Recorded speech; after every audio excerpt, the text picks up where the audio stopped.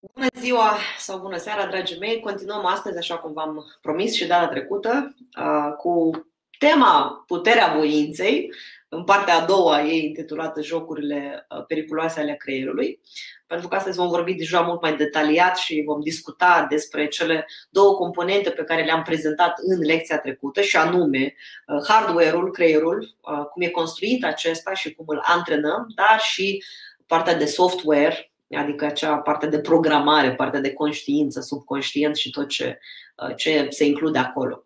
Încercăm sau încerc eu astăzi să împreună cu voi, dacă vreți să înțelegem ce anume se antrenează sau cum anume se antrenează fiecare dintre ele și uh, în același timp și cum se influențează reciproc acestea două și cum aceste două și practic cum pot colabora între ele. În esența lecției trecute am detaliat deja despre natura lor și originea lor complet diferită și că, spuneam, autentica puterea voinței nu înseamnă doar uh, puterea creierului și toate cele trăsături de caracter, de perseverență, de ambiție cu ajutorul cărora noi reușim să spargem ușile atunci când se închid în fața noastră, ci înseamnă, ci atunci când um, da, vorbim despre puterea sufletului, sau mai bine spus, voința sufletului și uh, atunci când creația, voința creației se manifestă, uh, reușind să, într-adevăr, să folosească toate acele instrumente de aici, de pe pământ, inclusiv creierul și mecanismele lui. Și când această voință, autentică voință uh, a sufletului, voința uh, creației, uh, când ea se manifestă, senzația noastră este una inversă, da? că ușile se deschid, nu că avem de spart niște uși închise. Am mai spus eu și în webinarul trecut că este important, foarte important să înțelegem că sunt două părți diferite cu origini diferite și că necesită fiecare dintre ele antrenament separat și în același timp complet diferit. Că pe lângă lucrul și munca asta spirituală, terapeutică, psihologică, psihică și a conștiinței, este necesară și antrenarea părții fiziologice, biologice sau mai bine spus neurobiologice. Și cea mai bună veste uh, dezvăluită prin toate cercetările științifice din ultimii ani este tocmai faptul că al nostru creier se poate uh, dezvolta și el și antrena și el da? de sine stătător. Dar cum aceste informații, de nou, nu le cunoaștem și nici nu uh, știm în principiu că putem face ceva, credem că memoria slabă sau lipsa memoriei sau da, alte slăbiciuni ale hardware-ului uh, sunt cumva născute și că da, nu avem ce face, ori lucrurile nu stau chiar așa. Așadar, de unde și cum apare această lene și lipsă de acțiune pentru majoritatea oamenilor, mai ales atunci când uh, da, vorbim de acțiuni uh, din astea Uh, necesare da, după ce se așează omul pe calea evoluției și creșterii personale. Uh, încă o dată, chiar și atunci când în mod voluntar se așează pe acest drum, fără să-l impună cineva. Adică oamenii, mulți își spun singuri cumva după vreo carte, așa, după vreun seminar inspirațional, gata, mă duc să-mi schimb viața, mă duc să construiesc o nouă viață, mă apuc de citit, mă apuc de vizionat, înțeles și integrat, dar foarte rapid ies din acest proces mulți dintre ei, măcar revenind așa din când în când, iar alții îl abandonează de tot. De ce se întâmplă asta? De ce chiar și, uh, da, uh, chiar dacă pe de o parte există voința, cumva, dorința asta manifestată de a schimba viața, în acțiune și manifestare nu intră uh, sau nu rămân da, în procesul ăsta decât foarte puțini oameni. Păi, biologic, da? se pare că al nostru creier conține și activează la, nevoie, la nevoie niște um, neuroni speciali care, da, ce fac? Funcția lor. Da? Ei uh, încetinesc și practic frânează activitatea uh, noastră, da? efectiv din acțiunile noastre. Mai exact, când se întâmplă lucrul ăsta? Uh, atunci când noi începem să accesăm un surplus de informații care ies din sfera aia necesară supraviețuirii trupului și creierului, pământește așa, creierul și neuronii lui, da, soldăței lui, încep să aprindă toate acele mecanisme ale lor de apărare. Creierul are în funcția lui principală păstrarea și apărarea trupului, nu a sufletului și evoluției acestuia. Așa că, în esență, creierului îi se cumva, dacă vreți, fâlfăie așa de nevoile sufletului, de programul lui de viață și de sarcina lui informații în plus pentru creier înseamnă și sunt toate acele informații care nu țin de norma obișnuită a zilei. Adică toate cele da, legate de supraviețuire, de viață fizică, mâncare, plăcere, relaxare. Și uh, atunci când, da, uh, pentru, da, când începe uh, da, accesarea, acumularea, procesarea și integrarea acestor noi extra informații în plus, da, pentru creier și supraviețuire, da, informații care pentru creier și supraviețuire sunt absolut necesare, uh, dar care pentru el, creierul, uh, trebuie să se încordeze, respectiv să ce? Să consume niște energie. Deci, pe de o parte, el nu are nevoie, pe de altă parte, cuiva altcineva, da, ca și cum are de muncit pentru altcineva. Apropo de creier, știați așa, din date statistice, că chiar dacă el reprezintă doar 2% din masa noastră fizică, din toată greutatea noastră, consumă 20% din energia pe care o produce organismul. Ba chiar mai mult, 95% din această energie, creierul o consumă pentru îndeplinirea sarcinilor sale inconștiente. Procesați fraza asta. Nu? Interesant, nu? Adică atâta energie se consumă, 20% din tot așa și 95% deja din asta se consumă și noi nici măcar nu conștientizăm acest lucru. Da? Pentru că totul se întâmplă cumva la nivel așa, inconștient. Așadar, omul cumva, da, așa, începe cumva într-o zi să-și încordeze creierul în sensuri nenecesare din punctul uh, de vedere al creierului da? Acești neuroni, care practic sunt ca niște paznici la porțile de intrare a fluxului de informație, uh, și imediat ce acești paznici sesizează că intră prea multă informație, ei trezesc da, prin toate uh, mecanismele și semnalele posibile uh, da, împotrivire, da, se împotrivesc și trezesc omul în niște lucruri da, pentru ca să se împotrivească. Da? De ce? Ca să economisească energia necesară uh, și păstrării și supraviețuirii vieții trupului. Astfel, omului, în procesul, da, așa începe să-i fie somn, lene, adorme cu cartea în mâine, adorme la seminar și așa mai departe. Pe de altă parte, imaginați-vă că fără aceste mecanisme special create, noi am putea muri fizic foarte rapid. Dacă creierul nu ar transmite toate aceste semnale legate de uh, energia pe care o avem în corp, de păstrarea acestei energii. Da? Când ți-e foame, gândiți-vă în felul următor, da? când, când ți-e foame, în loc să mănânci, să mergi la magazin, la frigider, la oală, da? imaginați-vă cum ar fi să te ia lenea, să adormi. Și eventual, așa, pe vreo două luni la rând, cum ar fi. Adică dacă n-ai citit azi, n-ai citit mâine, n-ai citit poi mâine, din, din perspectiva supraviețuirii, nu e nimic grav da? din perspectiva păstrării energiei pe aici, pe pământ. Uh, dacă n-ai mâncat, o zi, două, trei, 40 de zile deja e grav. Deci e un mecanism necesar. necesar. Și acum, creierul ăsta complex, cu toate mecanismele lui de funcționare, uh, nu doar că este uh, programat să economisească energia, ci să și o completeze constant. De asta nu avem nevoie de da, motivație sau um, să spunem așa, uh, de asta motivație pentru a căuta mâncarea, da? motivația pentru a căuta, căuta mâncarea este complet diferită față de uh, motivația pe care o avem față de, legată de, de citit. Da? Sunt două motivații complet diferite și credeți-mă că aia legată de mâncare raportat la creier și la trup este mult mai puternică.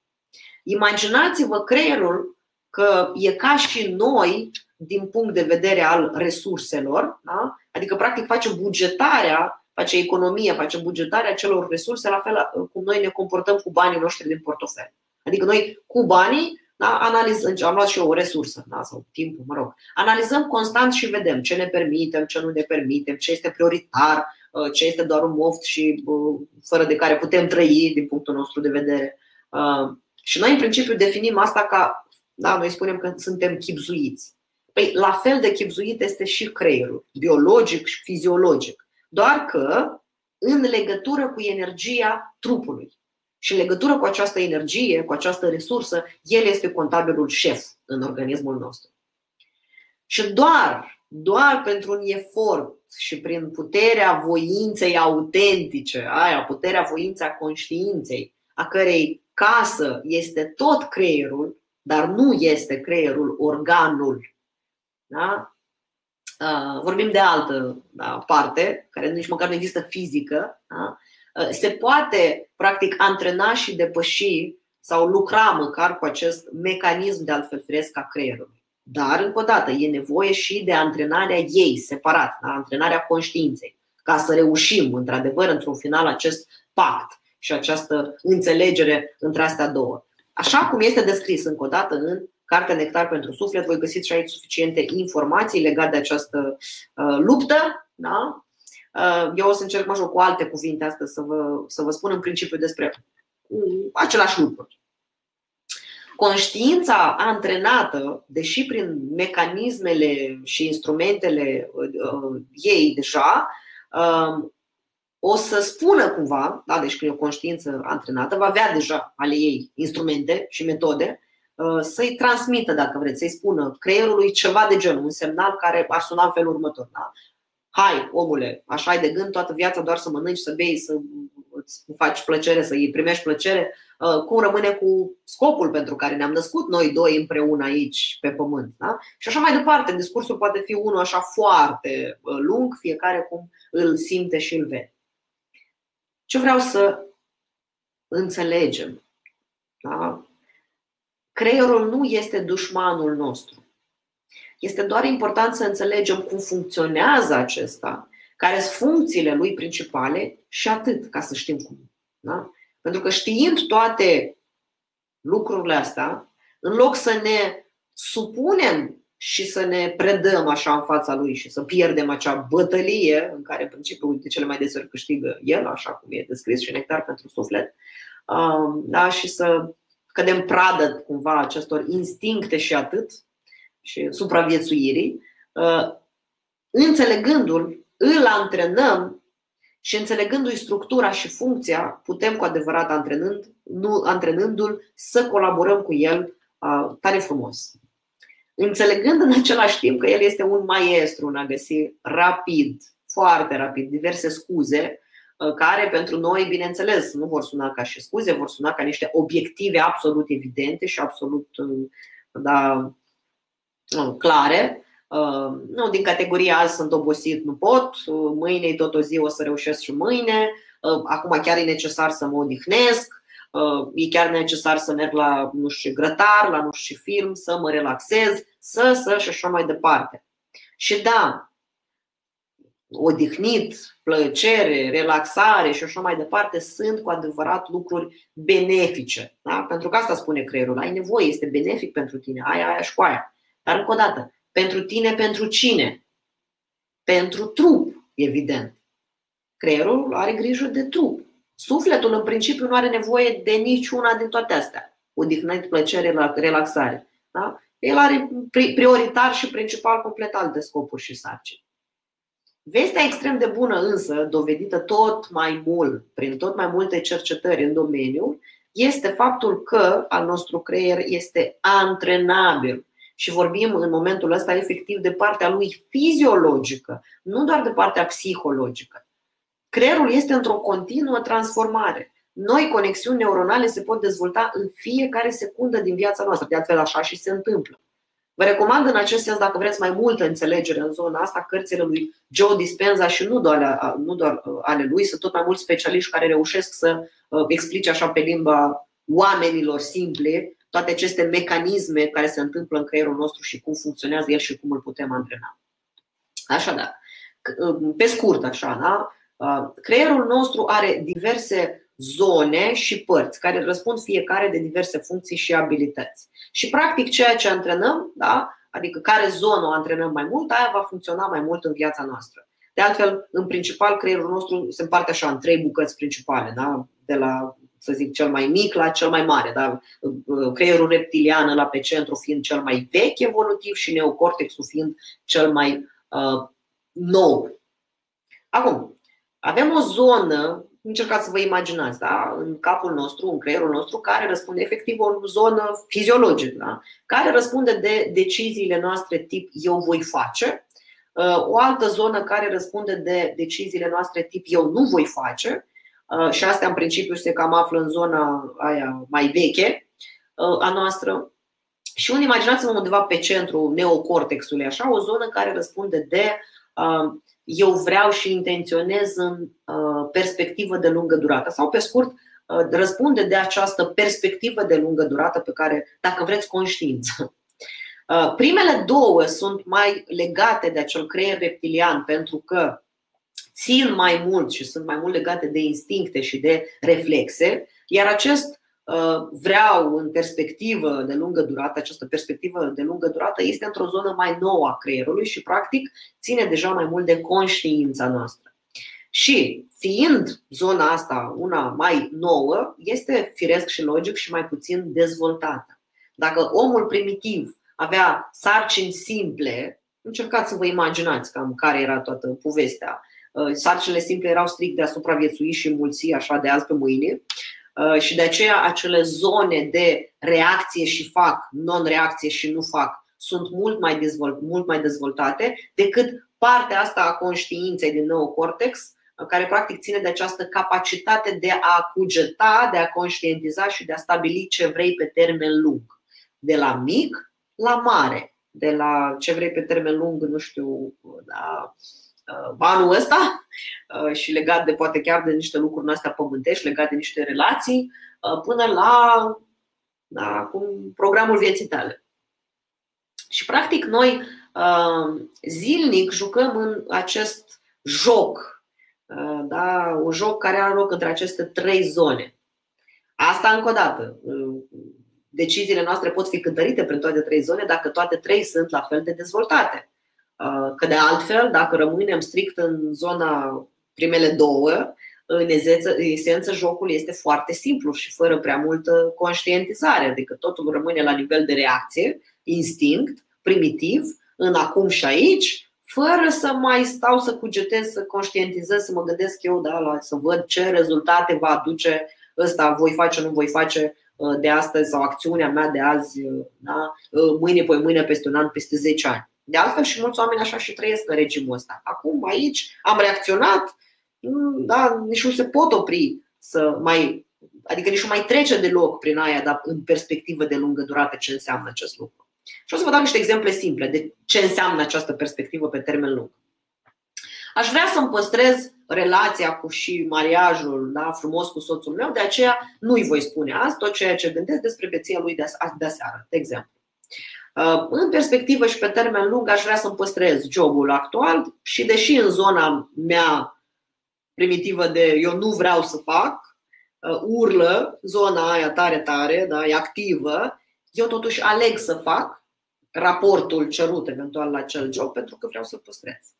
În perspectivă și pe termen lung aș vrea să-mi păstrez sănătatea, așa că voi face sport dimineața, plimbări seara sau orice altceva pe lista voastră. Chiar dacă eu nu vreau să fac asta. Înțelegeți la ce mă refer?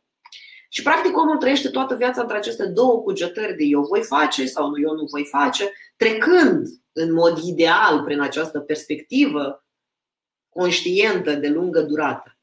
Care va predomina? Voi face, nu voi face sau perspectiva de lungă durată? Evident, cea care va fi cea mai antrenată. Și am mai spus uh, și mai, mai devreme, da? Antrenată, nu așa m-am născut. Se antrenează. Nu ne naștem automat cu una sau uh, alta, da, mai dezvoltată decât alta, ci efectiv le antrenăm într-o direcție sau în alta, toată viața noastră. Pe scurt, lenea e tot ceva antrenat în noi și de noi. Și mă refer acum concret la niște, dacă vreți să vă imaginați așa, la niște X neuroni și niște X, Y uh, sinapse care fiziologic se leagă la un moment dat așa de bine în creierul nostru, încât alea devin un fel de obicei Lenea e tot un fel de obicei antrenat. Cum te înveți, așa te poți și dezvăța. Cum? Da? E, e suficient să mă îngrijorez 3-4 luni constant încât o anumită zonă specială din creier, se spune zona îngrijorării, va fi atât de dezvoltată încât îngrijorarea poate deveni norma firească, da, firescul vieții noastre. Și invers, pot antrena liniștea și calmul și în câteva luni de practică se va activa acea zonă a creierului cu toată paleta de emoții și imagini uh, aferentă calmului și liniștii. Era o vorbă din asta cu fake it till you make it. E adevărată, dar depinde și aia cum o înțelegem. Da? Cum e cu fake it. Când e prin conștientizare, nu mai e chiar fake it. Da? Pentru că nu te prefaci. Doar înțelegi că antrenezi ceva.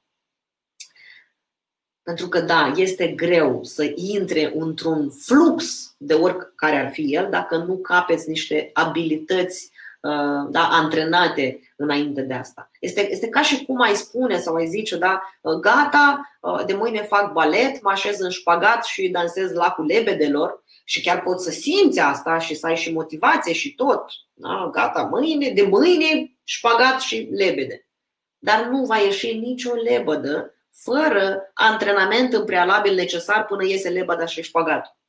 De altfel, în general, în viața asta, majoritatea lucrurilor sau planurilor oamenilor sunt abandonate foarte rapid și altele da, din planuri și din lucruri și din acțiuni dau rezultate foarte proaste. De ce? Tocmai pentru că nu există o pregătire pentru ceea ce urmează a fi făcut. Așadar, începem întâi și întâi da, să ne pregătim gradual, treptat, de la lucruri mărunte. Cum spuneam și în uh, acel Uh, am vorbit despre această gradualitate în uh, webinarul din seria Școala, da, cu educația corectă. Găsiți acolo despre această, ce înseamnă această gradualitate. Mai spre final, așa cred. Și încep. Voi citi, voi, aleg să, voi citi trei pagini, nu știu, din nectar pentru suflet în fiecare seară. Și pot să trec mai departe. În perspectiva de lungă durată, capacitatea mea poate ajunge la o carte pe zi, dar mai, chiar mai mult, perspectiva da, pe termen lung este ce? Că doar nu citesc doar ca să aflu din categoria algebra mare la urmă. Da? Uh, și credeți-mă, trei pagini azi, trei pagini mâine, uh, mai ales dacă 10-20 de ani n-ai citit deloc, s-ar putea trei pagini să fie un mega efort pentru creier în momentul ăsta. Dar după uh, pe o perioadă, niște ani, uneori, ajungi într-adevăr să poți să citești o carte pe zi și chiar să și înțelegi toată cartea aia. Uh, în sensul sănătății. Voi face o scurtă plimbare de 15 minute, dacă nu te poți mișca pentru mai mult acum. Azi 15 minute peste o lună vor fi jumătate de oră, după aia îți vei da seama că te plimbi 3 ore, nu știu.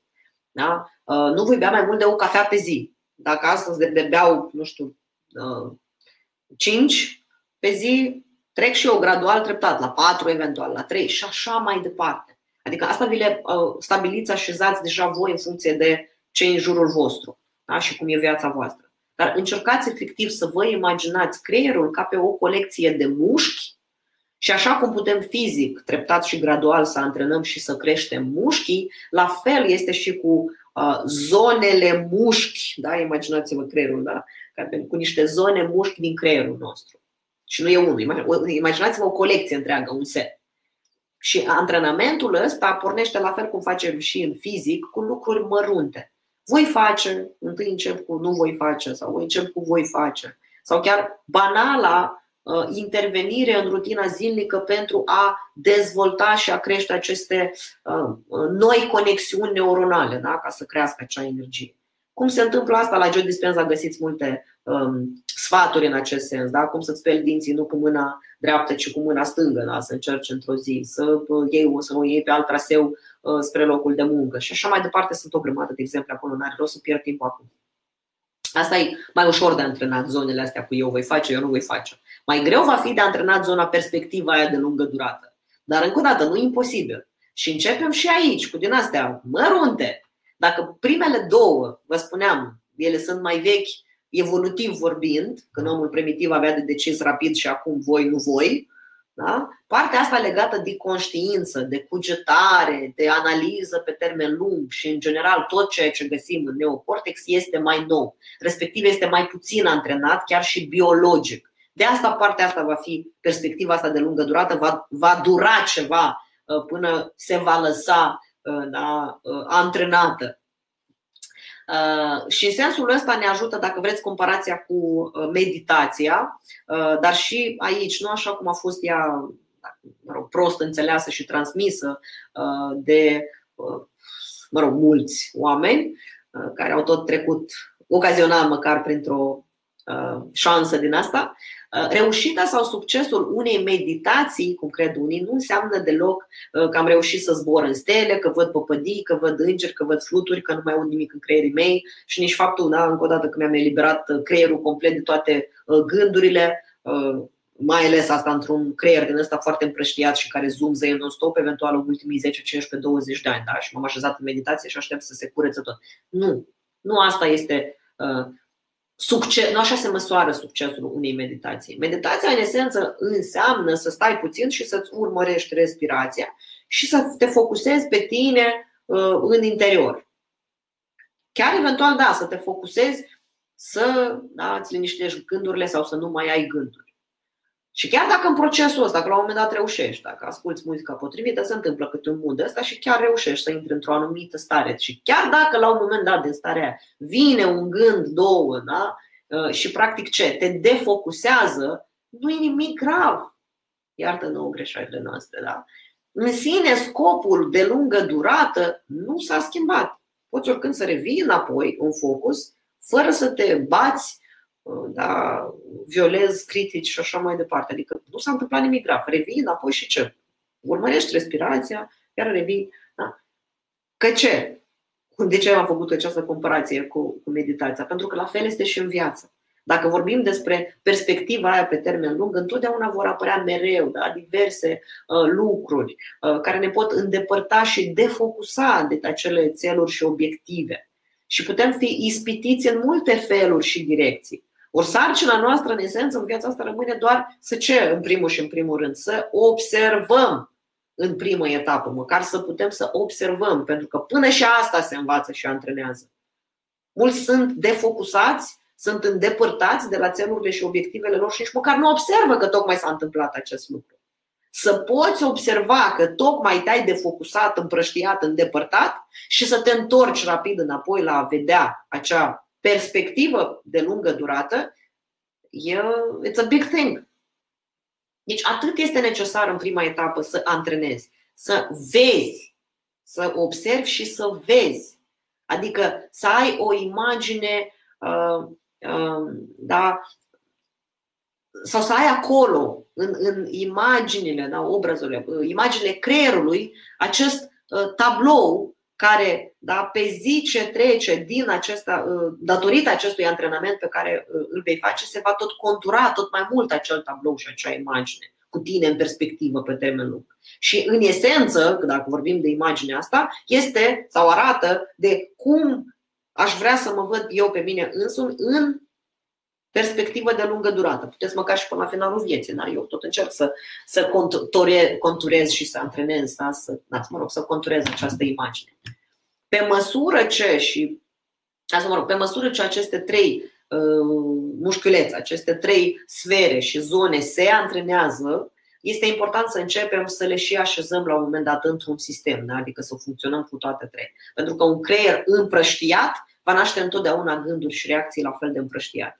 Dar pe măsură ce se antrenează uh, un mecanism și un anumit sistem de gândire și de acționare, practic se generează, dacă vreți, și suficientă energie psihică da, pentru uh, ceea ce e de făcut.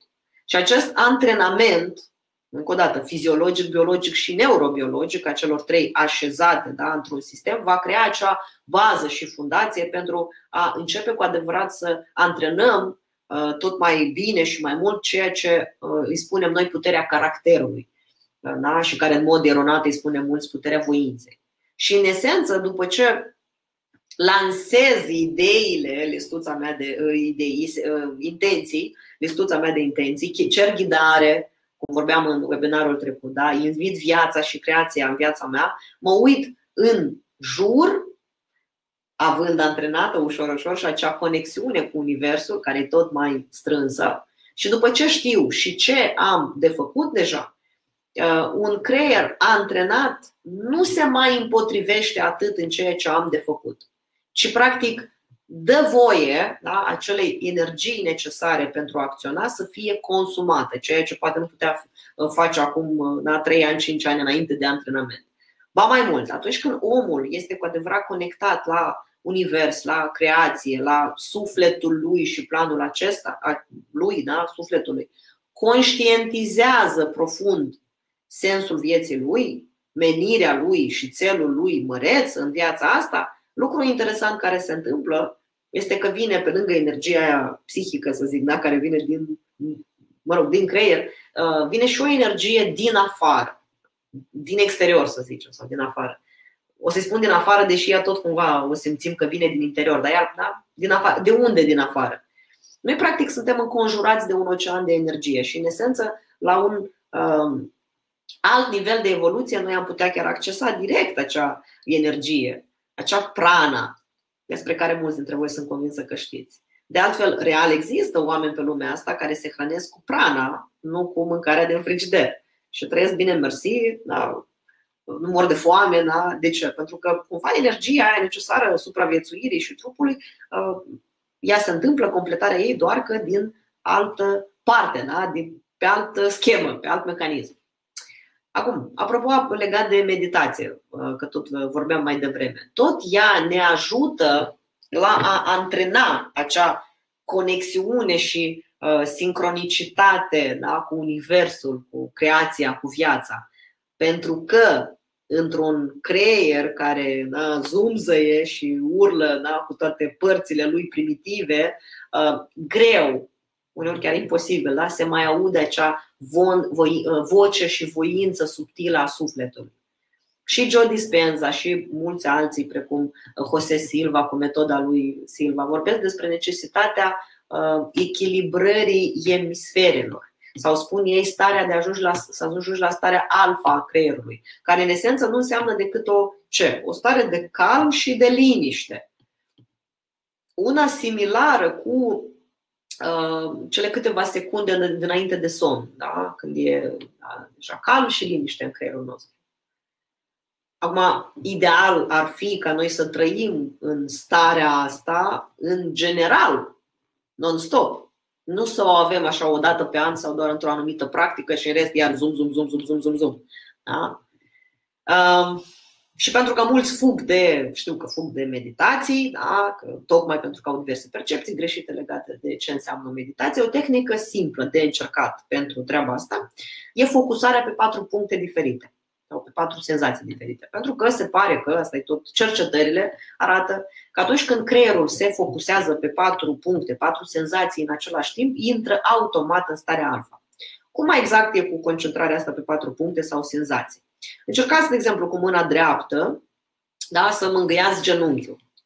Și în timp ce faceți da, chestia asta, urmăriți senzațiile. Întâi le urmăriți pe cele din mână, da? ce se simte la, în mână, în palmă, atunci când facem treaba asta. După aia să le simțim și pe tele, cele din genunchi, pentru că se va simți ceva și în palmă, se va simți ceva și în genunchi. Da? Deci vor fi două senzații.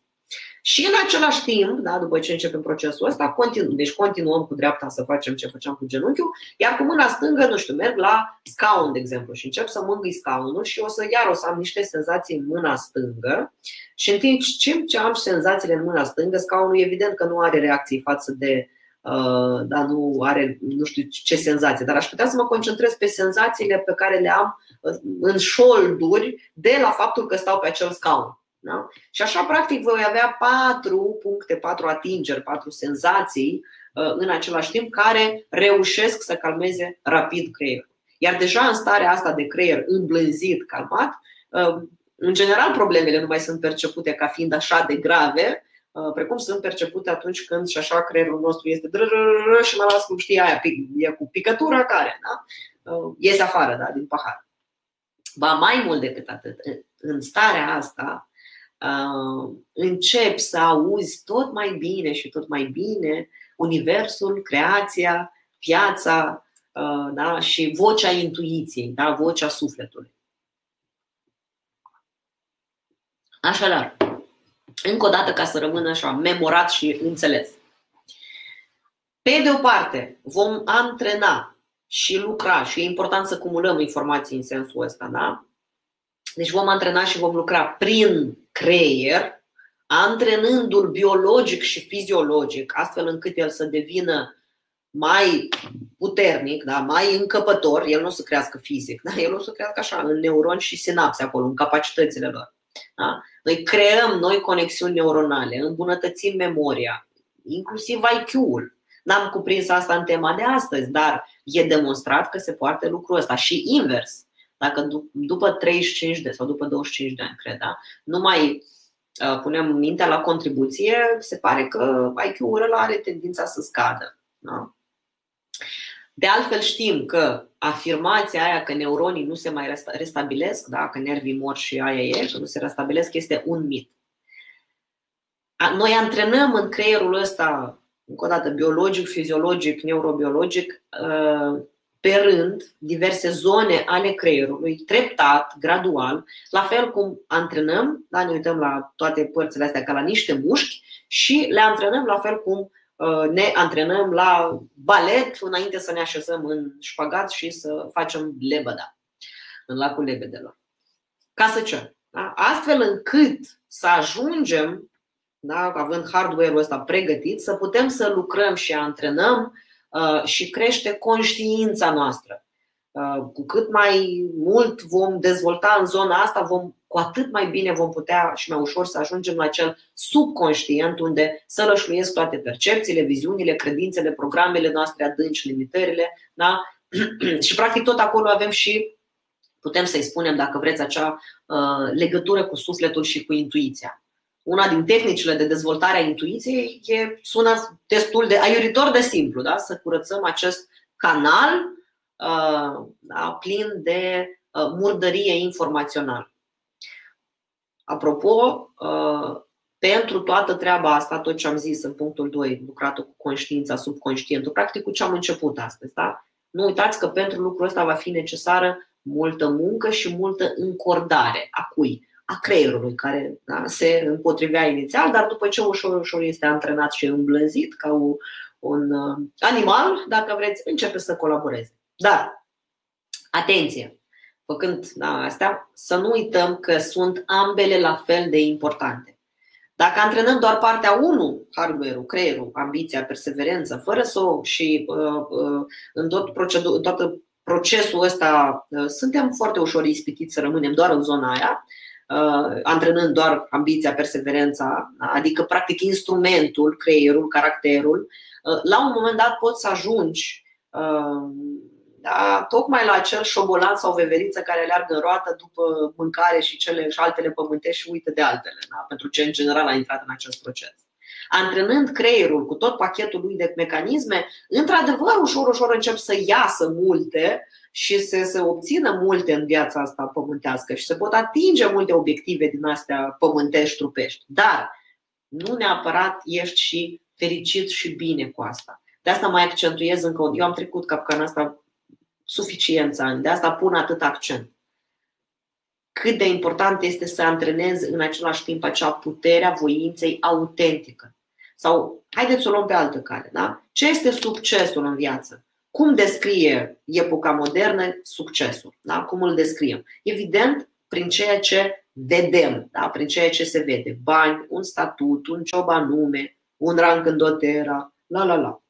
Antrenând put- autentica puterea voinței, realizezi că succesul autentic în viața asta. Nu pentru mine e așa, pentru mine nu e așa, nu, pentru toți în principiu. Succesul autentic pentru orice om însuflețit pe lumea asta se măsoară într-un singur fel. Cât de fericit este acel om. Altfel spus, fericit holistic. Altfel spus, și unul fericit holistic nu e și sărac, credeți-mă. Altfel spus, avem de reașezat în capul nostru întâi inconștient, după aia până subconștient, acest, și am spus, reașezat. Acest filtru sau prismă de cântărire și uh, măsurare, de măsură, care pe scurt se poate uh, descrie sau denumi acest filtru, calitatea vieții. Și noi ne naștem cu acest filtru. Și copiii până la o anumită vârstă, copiii mici, au foarte activ acest filtru numit calitatea vieții. Pentru ei e bine sau bine e atunci când e bine peste tot, mai ales în suflet. De aceea, cu oricâte jucării sau oricare câte alte pământești, da, așa, faptul că e sătul, hrănit, viu, copiii vor căuta și relațiile, mama, tata, da? pentru că măsoară non-stop starea lor sufletească. Asta, bineînțeles, până în momentul în care învățăm tot noi, adulții, să măsoare fizic în jurul lor. Și, practic, astfel îi învățăm să măsoare succesul în tot ceea ce văd. Da? Păi uite, ești bine, ești fericit, ești, de, ești un copil de succes, de fericit, uite, ai, da, da, și așa mai departe.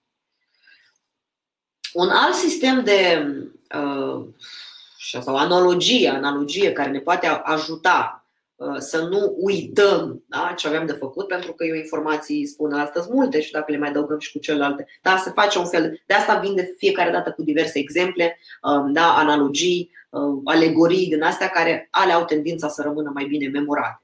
Da? De altfel, din seria indiciilor lăsate peste tot în jurul nostru și mai ales în interiorul nostru, că ele chiar sunt multe, și din seria asta vorbim despre centrii noștri energetici și câmpurile sau corpurile noastre subtile. Uh, și uh, astea, și cât și una și alta, dar ne povestesc foarte bine această poveste a ghidării. Dacă vreți, ne dă o rețetă de gata de ce avem de făcut. Dar da, trebuie să știm și aceste informații, ce sunt toate cele ceacre, ce fac fiecare dintre ele, de ce răspund, la ce corespund uh, și toate cele corpuri. Mă rog, asta e practic o altă temă și eu din când în când o să mai introduc prin alte, da, poate, uh, tematici. Dar acum, pe scurt, uh, chakra 1, da, aia cea mai de jos, da, pământul, e legată de pasiune și de eu vreau. În chakra 2, Uh, e legată de energia fizică și de acel eu pot, deci eu vreau, eu pot. Chakra 3, trebuie. Și în chakra 4, fiți atenți, care deja înseamnă inima, aici eu ajung să mă întreb și practic să corelez cu, dar oare mi se potrivește? Simt că mi-e potrivit, inima mea spune că este pentru mine, mi-e potrivit, încerc să ascult, da, vocea, așa că ceea ce vreau și pot și poate și trebuie să fac este și potrivit pentru mine în același timp. Mai știți vorba aia cu gândim cu creierul și într-adevăr îl putem antrena uh, să gândim foarte bine și să ne aducă multe idei foarte bune, astfel încât să pot să vreau, să pot și să trebuie. Un creier care gândește bine începe să aibă o listă întreagă de vreau, pot și trebuie. Dar în final ascultăm inima. Da? Vorba gândim cu creierul și ascultăm inima. Asta nu înseamnă că numai lăsăm inima și atât. Asta înseamnă, de fapt, cu adevărat aia, coerența, da, coherence, nu știu dacă e la fel în română, coerența între minte și suflet, între creier și inimă. Când ceea ce eu gândesc, vreau, pot și trebuie, este coerent și cu ceea ce simt eu în inimă. Acolo, în locul ăla, e și, dacă vreți, imaginar așa, e, e planul și voința Creatorului. Da? Um, și, practic, um, acolo e uh, filtrarea sau, sau verificarea da, finală dacă da, cumva coincide planul și voința mea cu planul și voința Creatorului. Și haideți să vă dau niște exemple din astea, iar personale, că se pare că astea sunt cele mai uh, da, eficiente. Primul va fi uh, dintr-o etapă a vieții mele în care, într-adevăr, antrenasem masiv da? ceea ce uh, se numește da, creierul și caracterul și toate cele trăsături pe care le numim uh, ambiție, perseverență. Uh, pe scurt, într-adevăr, aveam o listă din aia cu vreau cu ardoare și pentru că antrenasem bine și acea voi și nu voi și perspectiva de lungă durată inclusiv, de asta tot nu duceam lipsă, dar perspectiva de lungă durată în ce sens? Tot cumva pământește, da? Puteam să văd foarte bine încotro când am casă, când am aia, când fac cealaltă, da?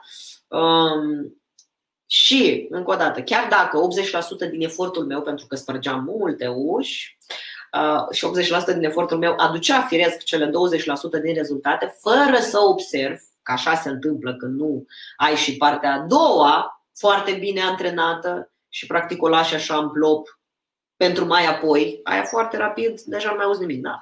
Mă transformasem într-adevăr în acel cal de cursă lungă care alerga și alerga și nu mai știam încotro.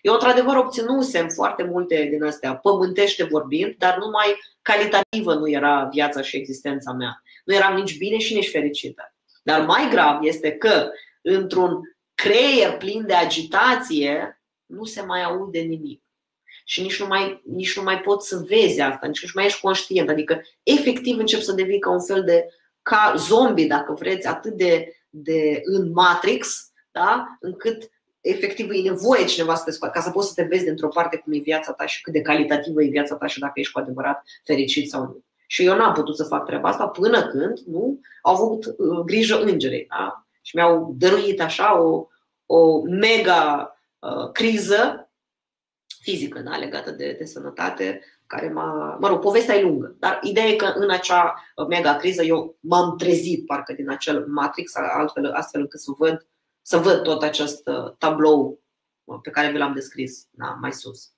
Și exemplul 2.1 deja după ce uh, practic antrenasem și crescusem în mine um, acea autentică putere a voinței, adică acea perseverență și ambiție era deja um, nu înseamnă că dispăruse vreo undeva. Tocmai că era foarte bine antrenată când s-a conectat cu cealaltă, da? cu conștiința, a, a născut cu adevărat acea putere a voinței, care nu mai era numai pot, vreau și trebuie. Trecea și prin, uh, dar mi se potrivește.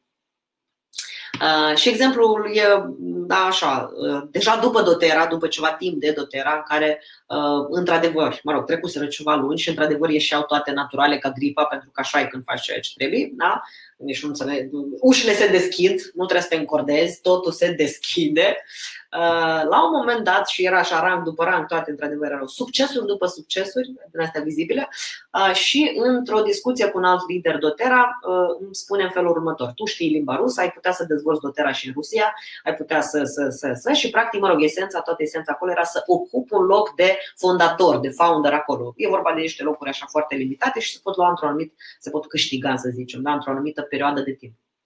Pe scurt, cei de înțeles pentru cei care nu Știți ce înseamnă treaba asta? E un tablou, un tablou întreg uh, cu foarte multe beneficii uh, și nu doar uh, financiare. Și creierul, bineînțeles, poate fi imediat ispitit. Asta, apropo de ispite și de unde vin, de care vorbeam de data trecută. Așa că, în sinea mea, începe această analiză, dacă vreți, la această propunere. Pe ceacă, da? Pot să fac asta? Sau nu este vreau să fac asta. Poate aș vrea. Nu era neapărat un. Bine, deja. Să zicem că vreau. Uite, să zicem că analiza începe. Vreau? Da, vreau. Adică cum să nu vrei să fii founder? Da? E... Cum să nu vrei niște beneficii? Vreau. Pot? Da, în principiu pot. Am suficiente cunoștințe, experiențe, știu ce am de făcut, da? și într-un sens și în altul, deci da, pot. Trebuie? Da? Trei, trebuie? Poate trebuie dincolo de beneficiile alea personale, financiare și nu doar, într-adevăr, moral, nobil vorbind așa, aș putea într-adevăr să impactez și să ajut o grămadă de oameni și în acea parte a lumii. Timp, aș putea să mă organizez. Uh, și așa mai departe, da? Adică legat de creier, să zic așa, bifate toate. Dar acum, mare atenție. Am nevoie de asta? E potrivit pentru mine? Când ajung aici la inimă deja, da? simt că asta îmi va schimba calitatea vieții, mă va face fericită, mă ajută să îndeplinesc programul de viață mai eficient, în ce mod și în ce fel se va schimba calitatea vieții mele în toate aspectele și sferele ei. Și practic, bine, ce v-am povestit acum asta m-am spus mult, că de altfel la mine a durat toată analiza asta 3 secunde, da? Și zâmbești când înțelegi Că deja auzi acea voce a sufletului și spui, nu mulțumesc. Și omul, bineînțeles, că încearcă să întreb, dar păi de ce, dar de cum? Dragii mei, în esență, puterea sau de puterea voinței avem nevoie pentru a realiza, într-adevăr, cât mai mult în viața asta. Dar păstrând acest filtru și prismă a programului nostru de viață. În esență, noi toți pe lumea asta ne dorim să fim fericiți. Cum spunea și Alex Lloyd în cartea lui de la stres la succes în 40 de zile, oamenii chiar cred că dacă vor obține folosind caracterul, bine, el în carte îi spune folosind, oamenii chiar cred că folosind puterea voinței, așa cum o înțelege lumea, dar astăzi voi înțelegeți mai bine despre la ce ne referim. Da? Uh, cred că dacă obțin toate acele din lista de vreau, automat și garantat devenim fericiți că automat și garantat vom avea această stare de bine și calitatea vieții va veni și ea automat. Ori oamenii, într-adevăr, cred că antrenând doar caracterul, creierul, perseverența, ambiția și așa mai departe, cred că sădind castraveți și adunând toate forțele și tot efortul da, să crească castraveții, vor ieși automat la final și castraveți, și roșii, și ceapă, și pătrunjel. Ori noi, practic, ca și cum uităm că sădind castraveți, adică pe ce ne focusăm, vor ieși la final castraveți și atât. Iar pentru că salata nu va avea gust doar din castraveți, tot după ce vom avea castraveți, tot vom căuta și niște ceapă verde, și niște pătrunjel, și niște roșii. Cred că ați, ați înțeles deja că mă refer aici la, bineînțeles, la salata vieții noastre, care nu conține doar castraveți. Și asta nu înseamnă că salata nu ar trebui să conțină castraveți. Cred că înțelegeți că zic castraveți, mă refer la bani. Da? Nu înseamnă că uh, nu-i nevoie de castraveți în salata aia. Nu-i neagă nimeni banii, nu neagă nimeni castraveții din salată. Doar că, doar cu castraveți, fără restul ingredientelor, acea stare interioară de bine, acea fericire, nu se va întâmpla până nu ne așezăm pe drumul îndeplinirii programului nostru de viață. Și acum, dincolo de partea asta biologică, fiziologică, neurobiologică, spuneam că există și conștiința. Deși de multe ori spunem, spun, noi spunem, da, în capul meu sau în creierul meu, dar totuși conștiința nu este un lucru fizic, ci mai mult unul energetic informațional, dacă vreți. Poate nici așa. De altfel, neurobiologii materialiști, care au încă această prismă materialistă, încă își bat capul cu uh, a explica la ora actuală, dar încă își bat capul să-și explice, să, să spună, mă rog, ce este conștiința, unde se află. Că o caută material, bineînțeles. Așadar, în această conștiință energetico-informațională, prin mecanismele creierului limitat la care este conectată această conștiință și prin care cumva se manifestă în această lume, are tendința să cumuleze un așa numit sistem de paradigme, credințe, valori și percepții. În cartea Drumurile iubirii e denumită povestea asta o viziune asupra lumii. Și apropo, viziunea asupra lumii include și viziunea asupra nouă înșine. Da? Deci cum ne, cum, ce percepție avem noi despre noi înșine. Tot prin mecanismele uh, da, ei specifice acestei conștiințe, da, uh, are tendința să cumuleze, să păstreze și practic să lase să funcționeze, da, să fie cele mai active, uh, un fel de medie aritmetică a acestor percepții adunate din ultimii 20 de ani. Adică nu toate, ci așa are creierul și conștiința tendința să facă în ultimii 20 de ani, care este media aritmetică a acestor percepții, paradigme, credințe, viziuni. Ce vreau să spun, pe ce vreau să pun accent acum, este că aceste viziuni, percepții, paradigme nu se schimbă de la o zi la alta sau de pe o zi pe alta.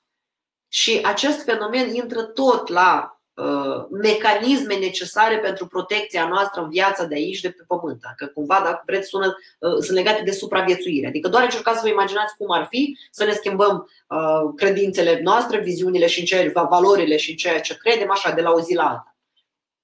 Eu înțeleg că pare, încercați să-l vedeți că pare așa pozitiv, un lucru foarte pozitiv. Nu, nu e deloc. În acestea se regăsesc rădăcinile Uh, atât a tuturor rezultatelor, rezultatelor noastre, așa cum spuneam, uh, și a realizărilor în viața noastră, dar cât și a tuturor eșecurilor și bolilor. Da? Uh, de data asta la altfel de boli mă, mă refer. Adică limitările noastre. E important să înțelegem această rădăcină, pentru că de cele mai deseori, pentru a vindeca un om, da? pentru a vindeca viața unui om, este suficient să-l curățim, și îngrijim și atât. Da? Să revină la firesc, la esență. Este exact ca în principiile sănătății holistice. Primul pas în sănătatea holistică este curățarea, da? detoxul, zicem noi. Și ulterior, altele. La fel este și în sensul psihologic, terapeutic. Este suficient de multe ori să facem curățenie și majoritatea problemelor se rezolvă. Pentru că majoritatea problemelor da, a, a, a oamenilor, acolo se găsesc. În toată acea murdărie energetică și psihică datorată acelei murdării informaționale a percepțiilor și tot pachetul de acolo. Și de multe ori, doar făcând această curățenie, ajungi să vezi cu adevărat esența, da? adică ce rămâne, ce este firesc, ce era la bază acolo. Imaginați-vă unde la un boschetar, da, prin filme mai arată povești din astea, da, cu câte un boschetar, uh, murdar, plin de păr, da, neberberit, așa, peste tot, înghețat, uh, da, mă rog, nespălat, uh, flământ, nedormit, chinuit, înțelegeți, da, la, a, cred că aveți deja imaginea.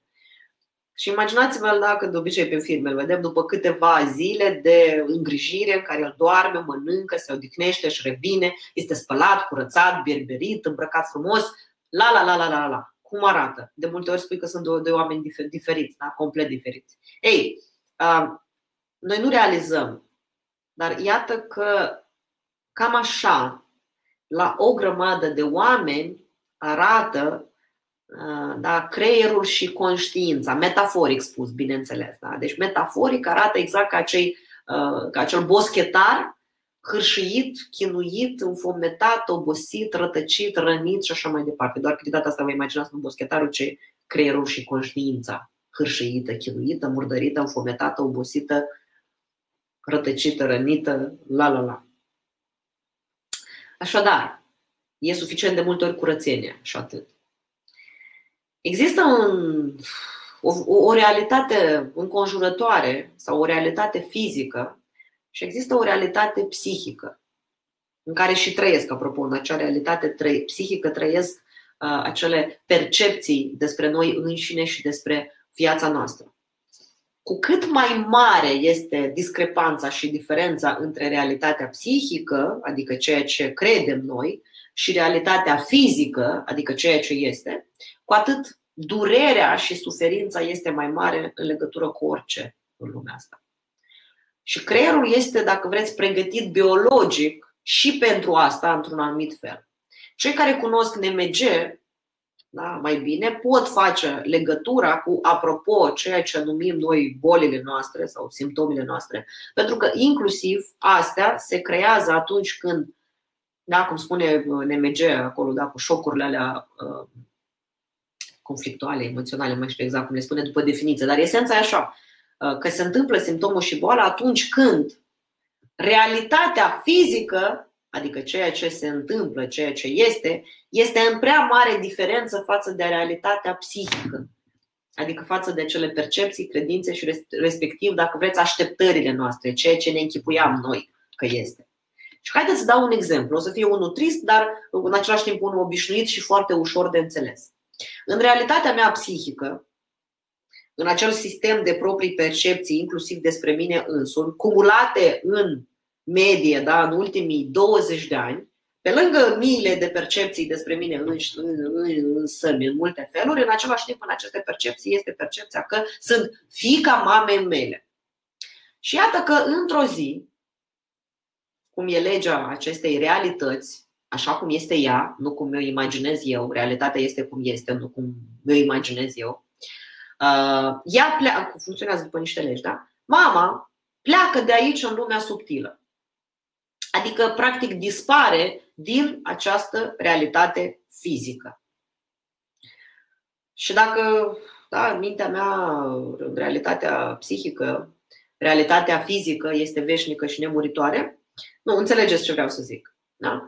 Și, practic, cum e construit acest mecanism de adaptare? Da? Că altfel oamenii, dacă nu ar exista un mecanism acolo, am murit cu toți așa a doua zi, da? după astfel de durere. Pentru că atunci când există discrepanță, încă o dată apare acea durere. Da?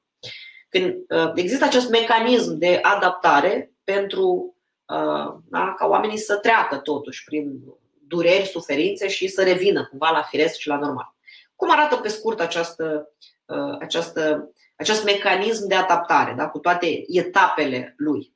În faza 1 este negarea, adică e faza aia în care nu are cum, nu poate fi, nu crezi, nu aia, deci nu are cum. Realitatea ta psihică tinde să, uh, să caute, da, să, uh, da, să nu accepte că realitatea fizică este complet diferită decât ceea ce e realitatea psihică. În faza 2 Uh, trecem la căutare, adică practic cauți pe cineva să semene cu cel pe care l-ai pierdut. Uh, în esență aici pot căuta pe cineva sau pot căuta ceva în această realitate fizică care să completeze golul din realitatea mea psihică. În faza 3 intru în depresie da? sau în tristețe, în chin, în suferință, da? Uh, care poate să dureze și 4 și 6 luni și la unii, din păcate, și mai mult, adică un fel de consum din ăsta de obiș- obișnuire, să zicem, da? suferință, neînțelegere și cu obișnuire și, mă rog, se consumă toată povestea aia până când da? trecem în acea fază 4, adică în revenire, da? și revenim la, deja la momentul în care starea, situația psihică coincide cu situația reală fizică da? și rămâne doar o amintire frumoasă despre.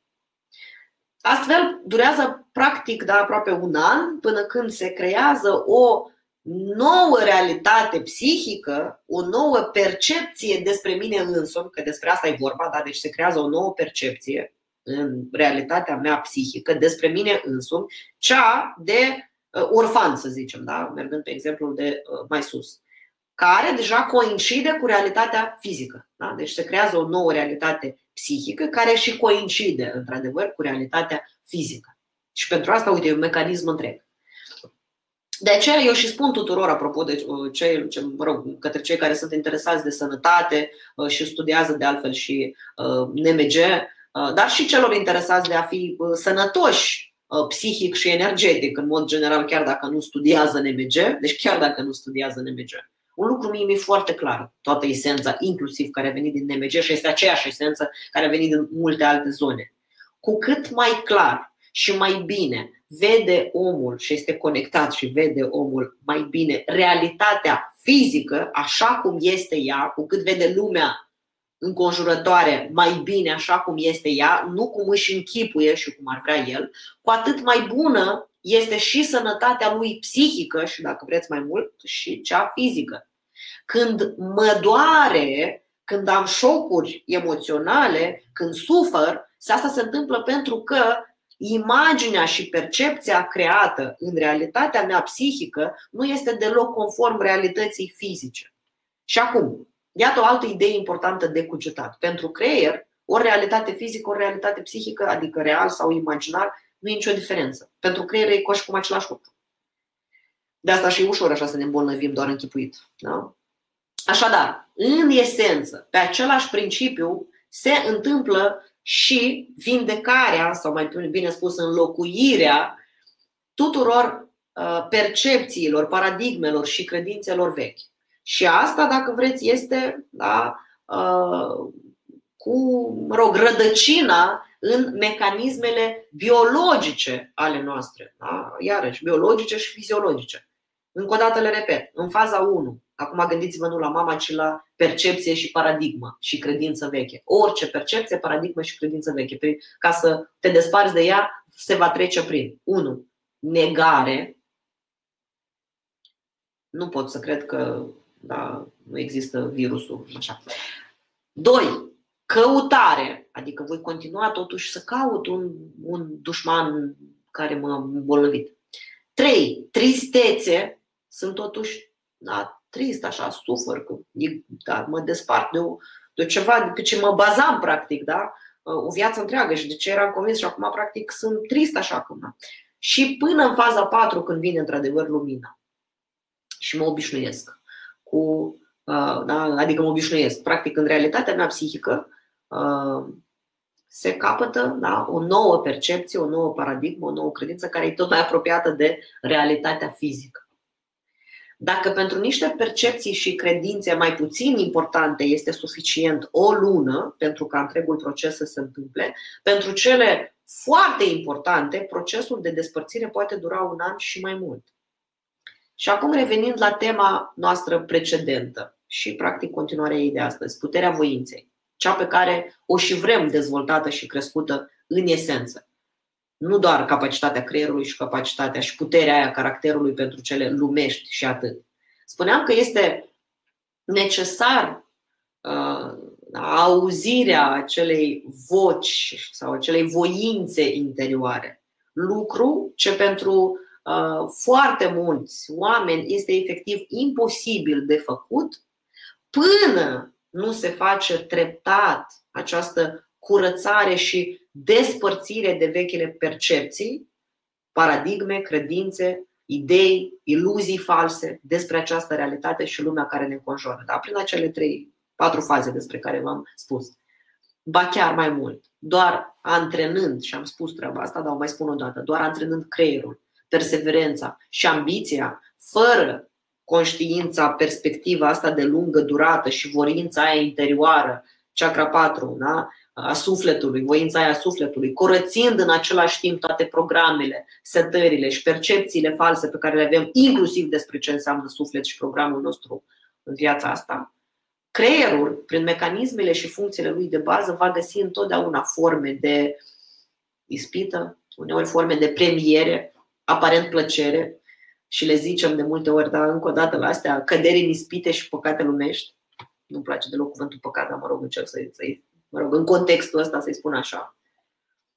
Și asta încă o dată, da, pur biologic. Uh, pentru că pare că atunci când uh, avem un anumit succes, da? un, o anumită acțiune a noastră dă un anumit rezultat, ar trebui cumva, da, logic, să ne motivăm și mai mult să continuăm în direcția aia. Cercetările și se fac tot mai multe în zona asta a creierului, știința creierului, cercetările arată că e tocmai pe, pe dos la nivel neurologic, dar și hormonal inclusiv, da, tot, tot jocul ăla de hormoni care se întâmplă. Uh, după un rezultat și un anumit succes, creierul va căuta relaxare și premii, oricât n-ar fi. Sau așa, un mic păcat, să am voie să fac și un mic păcat. Un fel de mesaj subtil uh, pe care practic îl transmit așa inconștient neuronii prin activitatea lor, uh, care spun așa, gata, misiunea e îndeplinită, da, programul l-ai făcut, ai făcut, bravo, acum poți Acum meriți un premiu și de obicei premiul ăsta arată ca o ciocolată, ca ceva, adică e ceva imoral, ilegal, uh, ne, nenobil și, așa, și cu urmări proaste. Da? Adică, imediat ce un lucru bun s-a făcut, uh, cumva uh, parcă suntem, arată cercetările, da? că suntem biologic programați să ne lăsăm ispitiți foarte ușor, da? de o beție, de o ciocolată, de la fiecare care uh, dependență. Asta încă o dată asta apropo, da? că așa se întâmplă, da? se poate explica de ce după diete de luni întregi uh, oamenii încep să, și după ce obțin rezultatul ăla pe care l-au vrut, oamenii încep să mănânce tot mai mult, de ce după un proiect încheiat cu succes, încordând caracterul și perseverența, da? Uh, oamenii ajung în aia gata, pot să mă duc să mă băt da? și să rătăcesc trei zile pe undeva și așa mai departe un fel de mecanism din ăsta interior, dar biologic, care la mulți, din păcate, devine și exterior, declarat chiar. Da?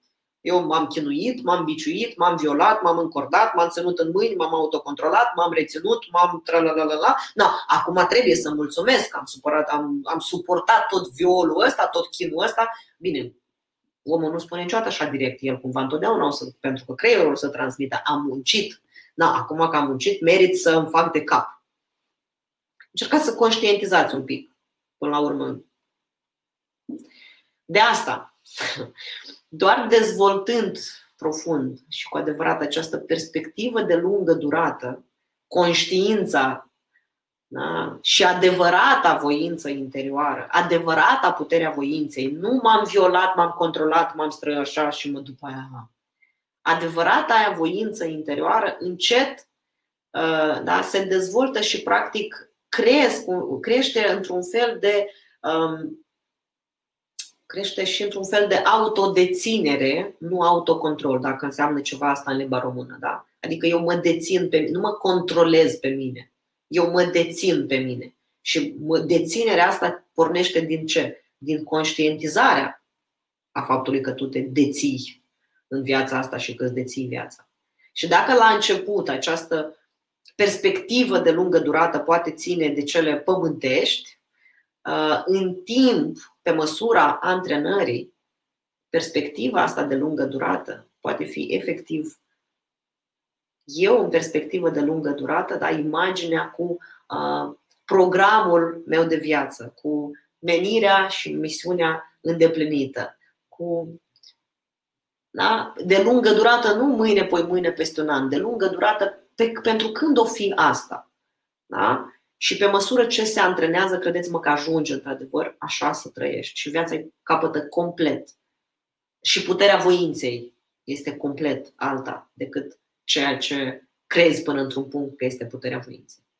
Ceea ce de altfel vă și doresc, atât pentru astăzi, și așa au fost așa intense, cred că informațiile de astăzi, aveți ce procesa, sper să vă fi fost utile eu vă spun la revedere și pe uh, data viitoare când vom vorbi despre uh, recunoștință și cum o antrenăm, pentru că se pare că și din punctul ăsta de vedere avem multă neînțelegere și de acolo, bineînțeles, multe probleme.